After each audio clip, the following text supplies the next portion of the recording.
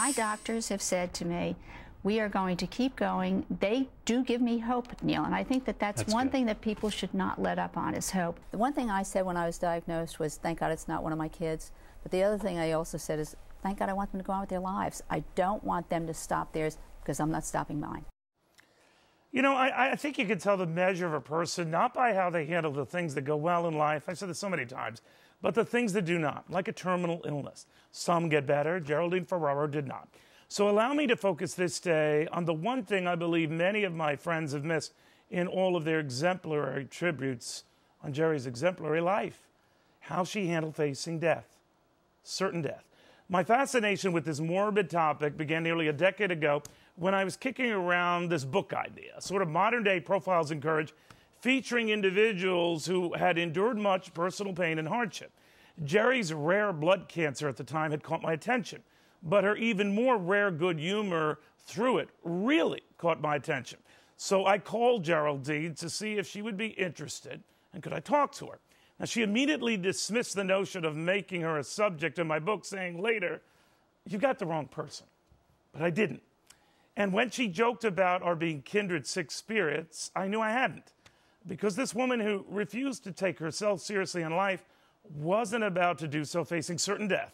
So I want you to remember that when you watch this. A woman who knew, knew she was dying, knew it, but was not one bit afraid to keep laughing and kidding. I brought this in to show you, in case you missed the Financial Times today.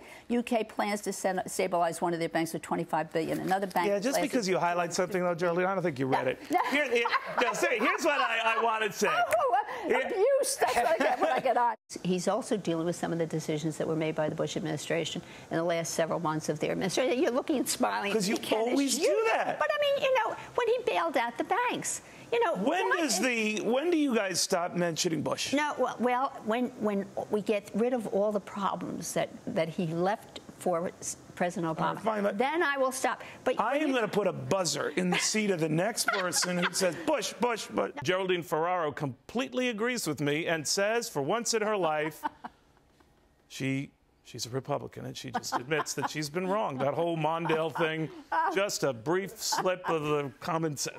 Good to have you. There's some humor in some of this stuff. You and I are going to have increased taxes. Just Oh, don't. I don't doubt me. Uh, you, is, without I a doubt. Oh, I just found out, Geraldine, the other anchors are paid. I am No, uh, beyond is- tipped. Oh, you're yes. Kidding. Um, and I heard the contributors were too. Gosh, Oh, we're Geraldine, we're always is it good seeing you. Italian, they didn't It is. Us? is an anti-Italian. You don't want to get me started.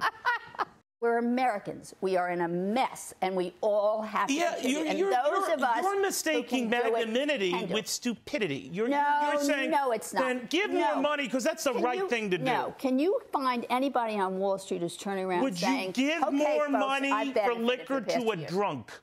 Not, not. Don't compare the. two. Oh, really, Miss Don't Pants? do- No. All right, well, you know, we're running out of time. I want to get you back because I love you as a guest. I, I'm trying to work on you uh, because Ah, you would be a gonna take you long prize time. convert. My lifetime. All right, well, yeah, I have a feeling. If she goes in with the kind of hair you had in 84, that could be a problem. All right. Uh, but you did great. That was a very I fun did. debate. It was my brain that was yes, there, not my hair. A lot of stats and style together. Absolutely. All right, always good seeing Geraldine Ferraro, uh, Class Act.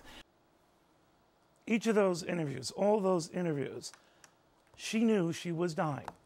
She knew she was putting up a good fight, but she never bitched, she never moaned, she never cried, she never asked for special attention. When I told her later that she helped make that stupid book of mine a New York Times bestseller, I can remember vividly her saying, Clearly, people will read anything. No, I told her, they were thirsting for something. And Geraldine was something. A woman who taught us not only how to live, she taught us how to die. So, Geraldine Ferraro, tested in life, now reminding us about the ultimate test when we lose it. Gone at 75.